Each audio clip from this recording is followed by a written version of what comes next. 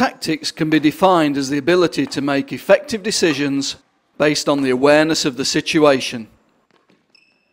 Alternatively, it can be thought of as where, when, and why we play certain strokes.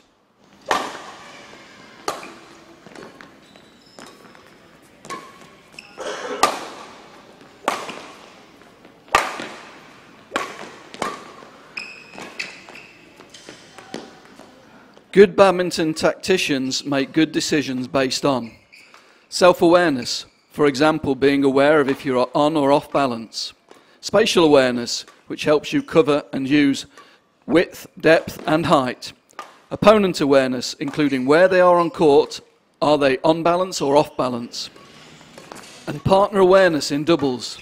This section of the DVD will give you advice on good tactical habits for singles, doubles, and mixed.